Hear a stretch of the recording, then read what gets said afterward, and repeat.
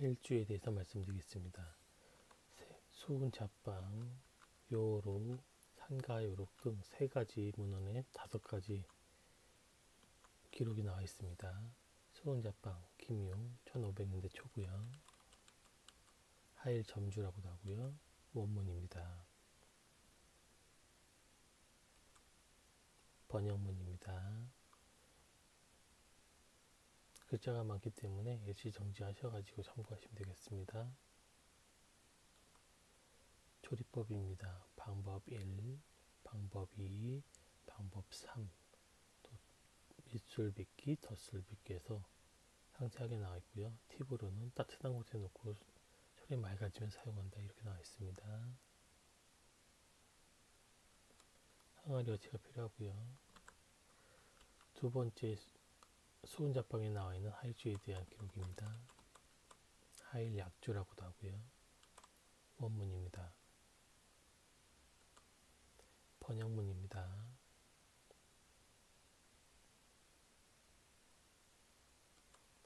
조리법입니다. 방법 1, 밑술, 덧술, 방법 2, 밑술, 덧술 이렇게 나와 있습니다.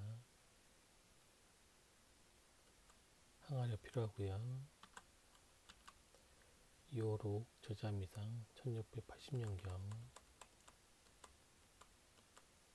원문입니다. 번역문입니다. 조리법입니다. 밑술 만들기, 덧술 만들기 이렇게 되어 있습니다.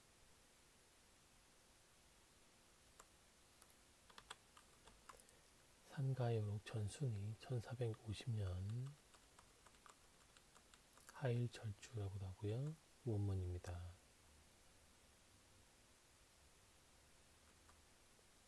번역문입니다.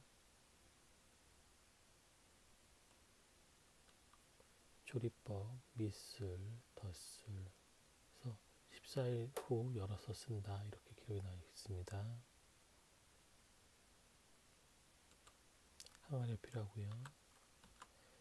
두 번째 상가이록에 나온 하일주에 대한 기록입니다. 손, 처사, 하일주 이렇게 되어 있고요. 원문입니다.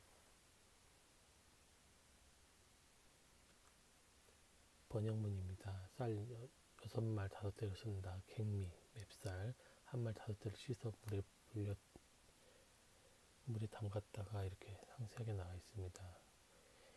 끝부분에는 해를 지나도 맥이 뿌옇게 되는 현상, 맥이가 닿지 않으니 신기하고 묘하다 이렇게 되어 있습니다. 조리법, 밑술, 덧술 4 단계 또 3단계 있고요. 해를 지나도 뿌옇게 되는 현상이 없다. 총 7단계로 되어 있습니다. 작은 단지 가마솥, 통이 항아리가 필요합니다.